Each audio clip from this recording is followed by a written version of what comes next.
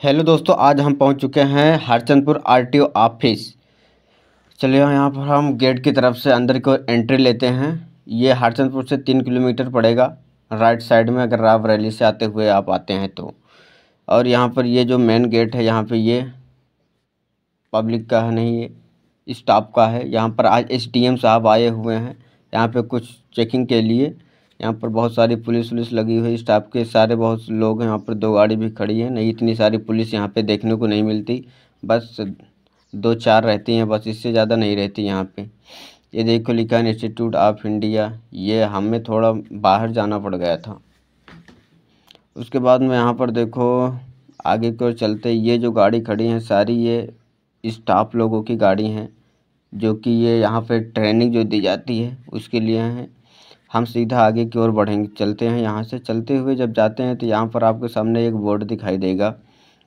आपको पास से दिखाता हूँ, ये बायोमेट्रिक लाइसेंस वेरिफिकेशन है। उसके बाद में आप जाएँगे आगे तो उसके बाद यहाँ पर लिखा काउंटर नंबर वन।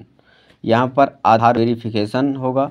यहाँ पर अपना आधार वेरिफिकेशन करवा लीजिएगा। उसके बाद काउंटर नंबर दो पे जाइएगा। काउंटर नंबर दो उसी के जस्ट साइड में है और यहाँ पर थोड़ा हम बाहर निकल आए थे। यहाँ पर ये गाड़ी वाड़ी खड़ी है, ये जो डम्फर वम्फर खड़े हैं, यहाँ पर सिर्फ़ ये सब ट्रेनिंग के लिए है टेस्ट के लिए। और ये हम आ चुके हैं काउंटर नंबर दो पे जो अभी दिखाया मैंने जस्ट पिक्चर ये काउंटर नंबर दो पे यहाँ पर खड़े होकर फ़ोटो और सिग्नेचर लिया जाएगा। उसके बाद में आपको इस तरफ़ भेज दिया जाएगा। यहाँ पर देखो ये चार पहिया खड़ी है, दो पहिए भी खड़ी हैं, यहाँ पर आपको ट्रेनिंग दी जाती है।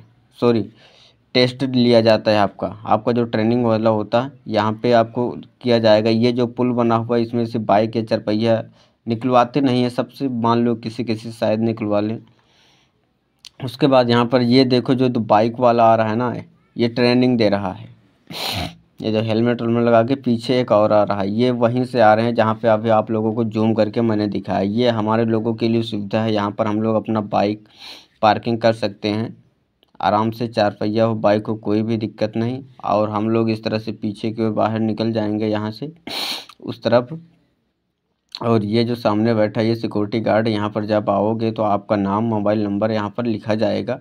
बाकी सबका नहीं लिखते, मेरा तो लिखा गया था, उसके बाद हमने बाइक बाप की इस बार बाहर ही खड़ी कर दिया था।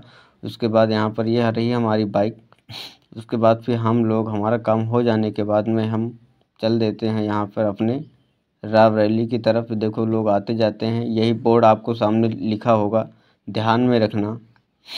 इससे आप लोगों को ये सब हरचंदपुर से सिर्फ़ ये तीन किलोमीटर है। और मेरा वीडियो कैसा लगा?